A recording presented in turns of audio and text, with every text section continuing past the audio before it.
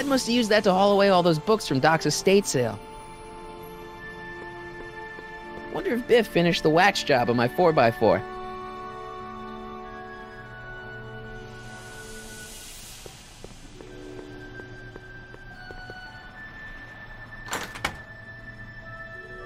Hey, anyone home? There's something wrong with my key. Please, not now. Tomorrow. Give me another day.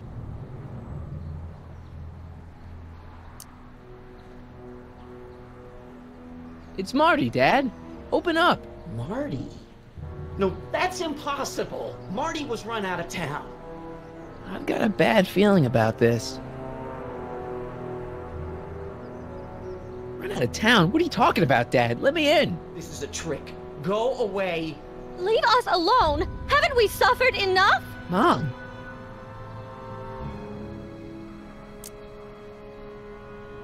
Get Dave and Linda. They left town years ago, which you would know if you really were Marty. How can I convince you? Tell me something only Marty would know. Ah.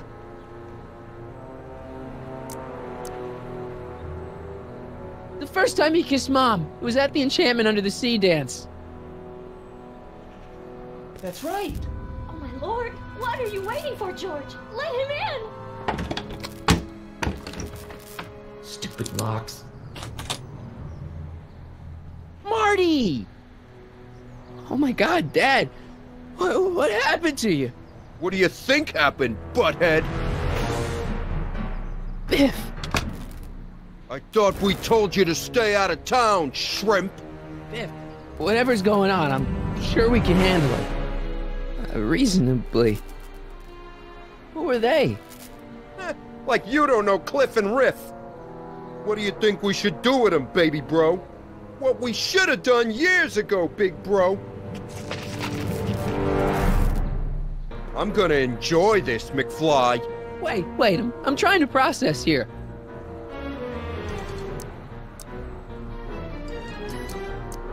Where do these other Tannens come from? From a mommy Tannen and a daddy Tannen. It's called the birds and the bugs, butthead. Ooh. I got a question. Why are you guys so pissed at me? you don't remember? You've really lost it, McFly. Think back. The thing with the manure truck. Which one? Ooh. Hey! And another thing. What are you guys doing here anyway? It's that time of the month. Time for Georgie to pay up. We usually take the payment in cash, but this month we can take it out of your hide.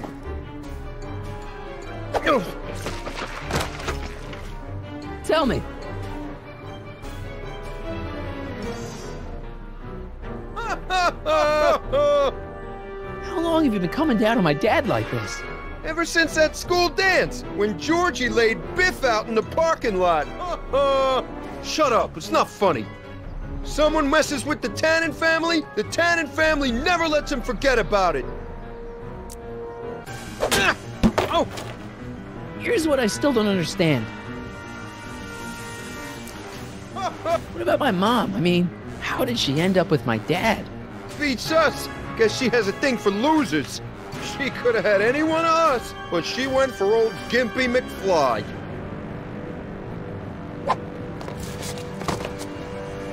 Biff!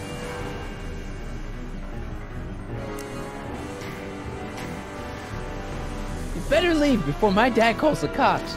The cops? We own the cops. The Tannen gang's the fifth most dangerous crime family in California. We got connections all over the place. No way. You don't believe me? Biff, no! Bang! Ha ha! Check it out. To your family from mine, in gratitude for your continued service, JJ Valenti. It's Don Valenti, godfather of the Sacramento mob. The third most dangerous crime family in California.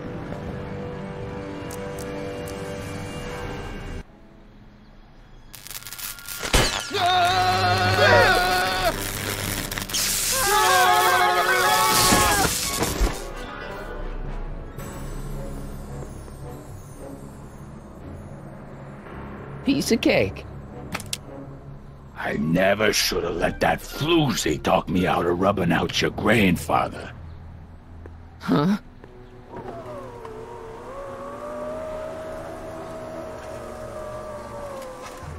Kid? No one in Hill Valley messes with the Tannen family.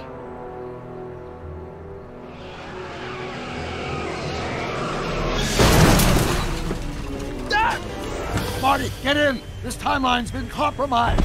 No kidding!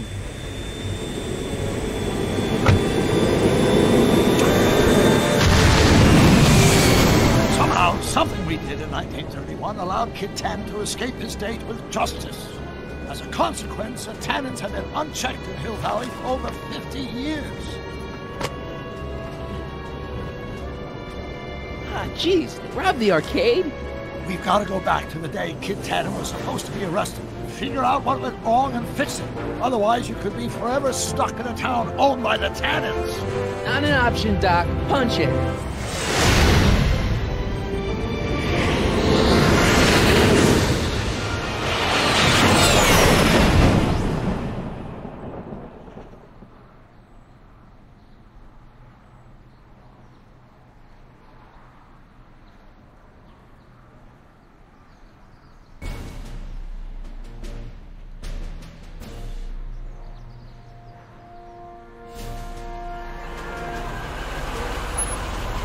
Okay, Doc. Let's run through this again.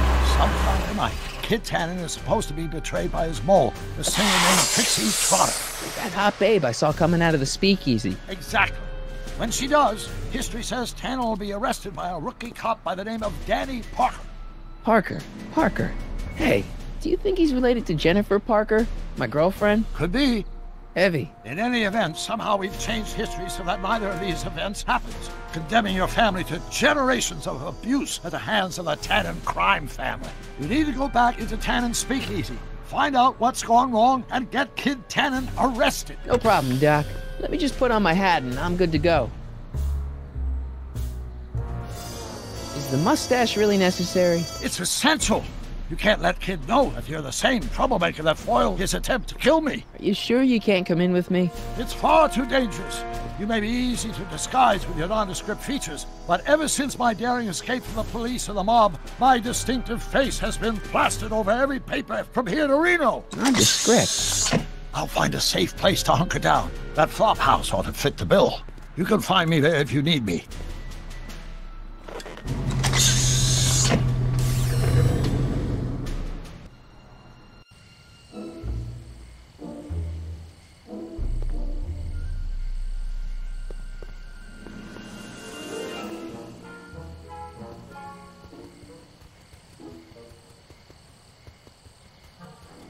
Pardon me, sir.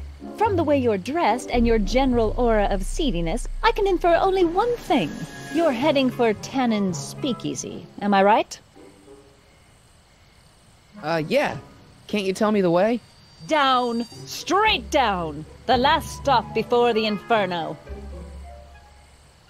Unfortunately, I don't have the power to stop you, but I beg you to tarry here a few more seconds and listen to my song. Me, me, me, me, me.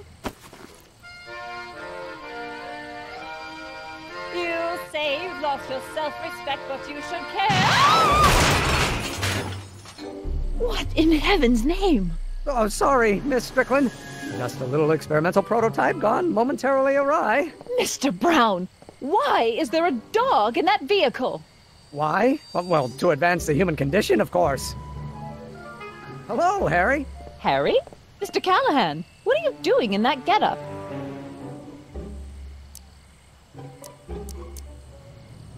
I'm going undercover. How exciting! You'll have to give me an exclusive sometime. Right now, I've got some souls to save. And you'll have to get an eyeful of my newest experiment. You're not angry about the rocket drill? Water over the bridge. I've moved on to bigger and better things. Come by the gazebo when you get a chance. I'll be setting up. You won't believe what Einie and I have been up to. Famous last words. All right. Now, where's that speakeasy?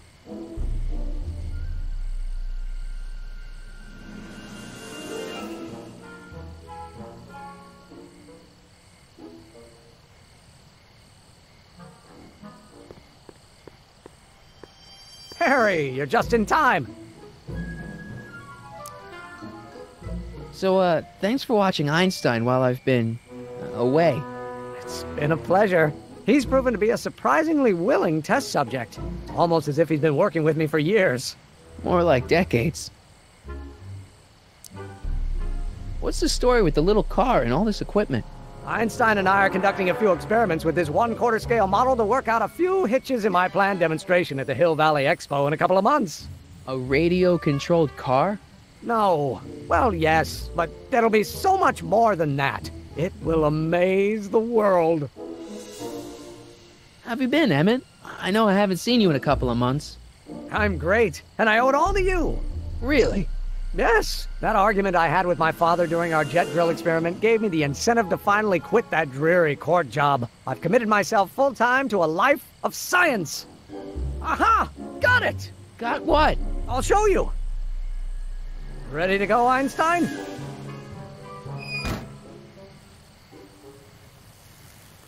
Watch this! When this baby hits 23 miles per hour, you're gonna see some serious cow flop.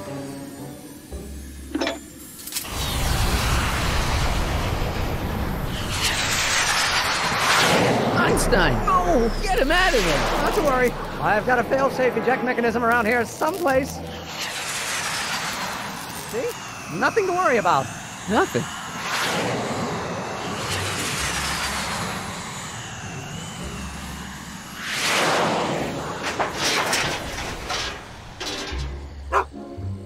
I'll go see if I can find something to help. Or someone.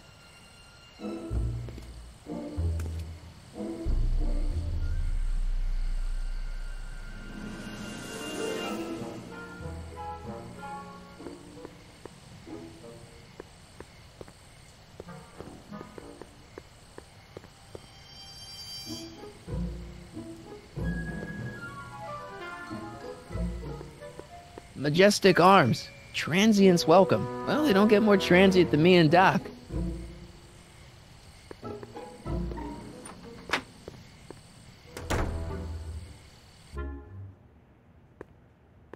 Hey, Doc. How's the room? It's a little cleaner than I would have imagined for a Depression era flophouse. How are your investigations going?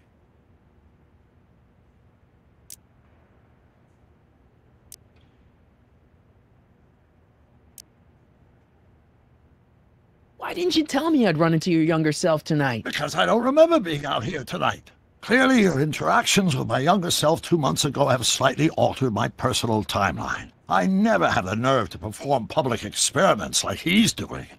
No matter, those experiments will be forgotten once I've seen Frankenstein. Frankenstein? Yes, right now my younger self is fiddling around down there with rocket propulsion systems for his demonstration at the expo. The thing that'll kick off your scientific career. Exactly.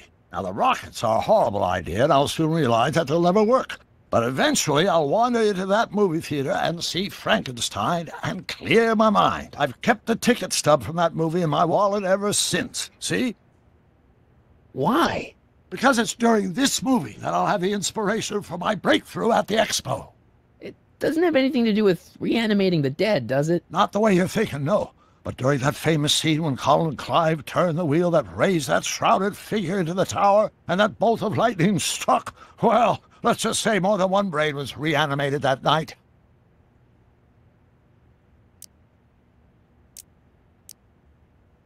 Emmett's not having much luck getting Einstein off the courthouse. I'm not surprised. Einstein's a smart dog, but heights give him the willies. What can we do? Hmm. I've got it. What? Just get my younger self distracted, and I'll handle the rest. Where'd you park the DeLorean?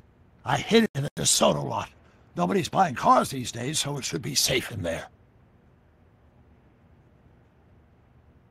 I haven't really made any progress with Trixie yet. Well, get out there and make some. If she doesn't blow the whistle on Kid tonight, he may never be brought to justice. Hey, who did burn down Tannen's original speakeasy anyway? I still don't know. I'd really like to find out before we go home. I never did get a straight answer about why he came back to 1931 in the first place.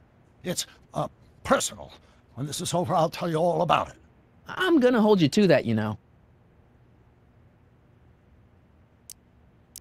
Why are Tannens always such jerks, anyway? Ah, it's hard to say. Rogue Neanderthal genes in their DNA, perhaps. Can you explain all this? I'm confused. It's very simple. In the original timeline, Timeline A, the speakeasy arsonist was never caught, creating one of Hill Valley's enduring historical mysteries. Okay. When I travel back to 1931, I created Timeline B, in which I was misidentified as the arsonist and subsequently killed by Kid Tannen's goons. Einstein came with me, and somehow he ended up in the DeLorean when its failsafe mechanism triggered, sending it back to 1986. Which is where I came in. Precisely. You traveled back to June 14th, 1931, creating Timeline C, a world in which Carl Sagan wasn't rubbed out by Kid Tannen. But Arthur McFly was served with a subpoena. And shot by Kid Tannen's goons. Yes, so you jumped back in time six hours, creating Timeline D, saving your grandfather's life, but somehow preventing Kid Tannen from meeting his date with justice. Which is why the Tannens were so powerful when we jump back to 86. Uh-huh. So now we've returned to August of 1931, creating Timeline E, in which, fingers crossed, we'll send Tannen to prison where he belongs. Got it? Sure. Good. One question. What? Can you explain all this? I'm confused.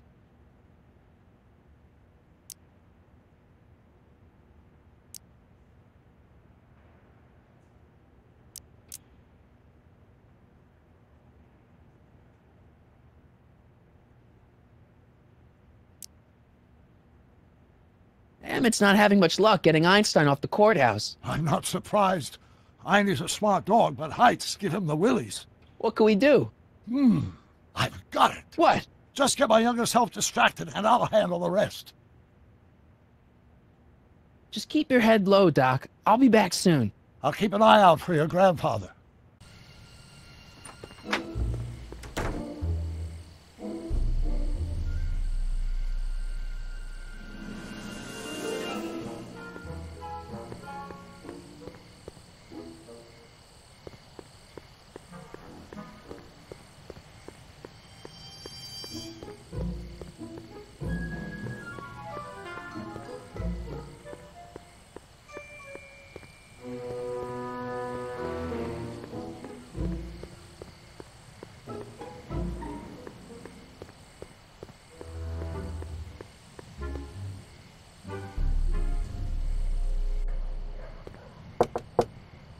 Who sent you? Ulysses S. Grant. What did you bring me? Meat and potatoes. What's the word? Words are for wimps.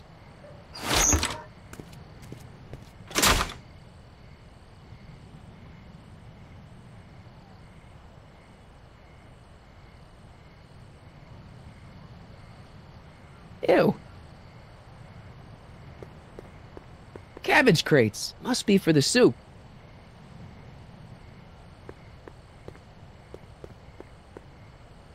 Who told you to come here?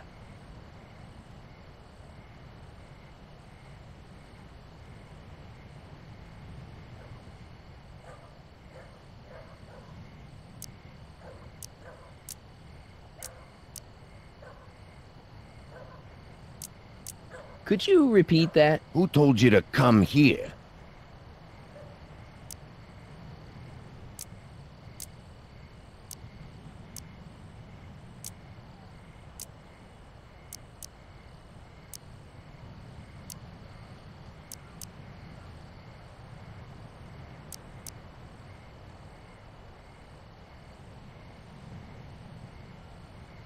Joe Piscopo? Take a hike, Squirt. Who gave you the right to knock on my door?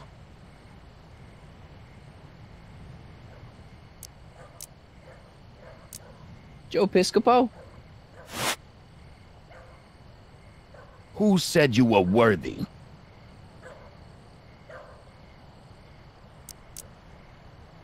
Joe Piscopo? Who is the king of Siam?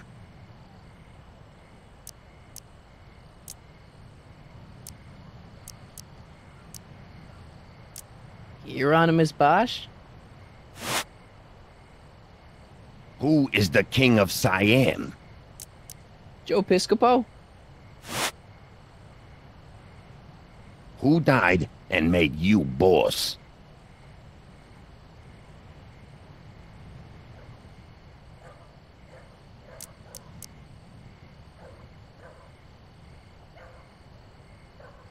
Boss Hog? What will you do if I let you inside?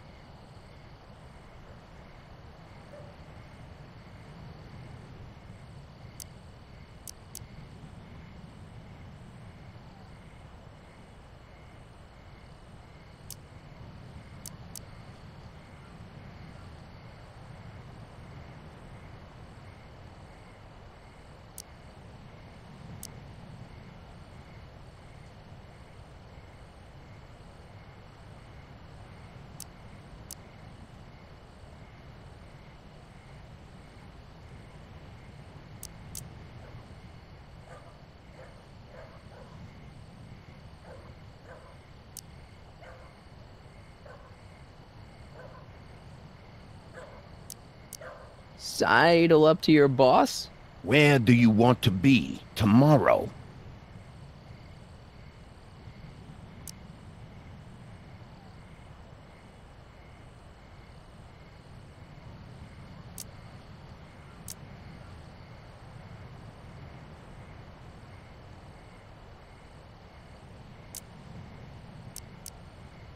Rome. Welcome to El Kid, sir.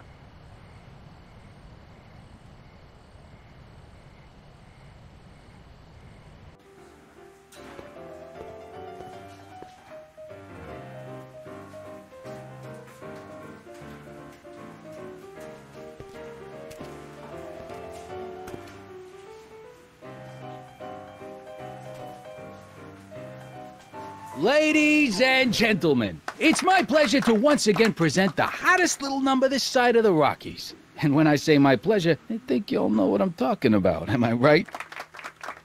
So let's have a big El Kid welcome for the one, the only, Trixie Trotter.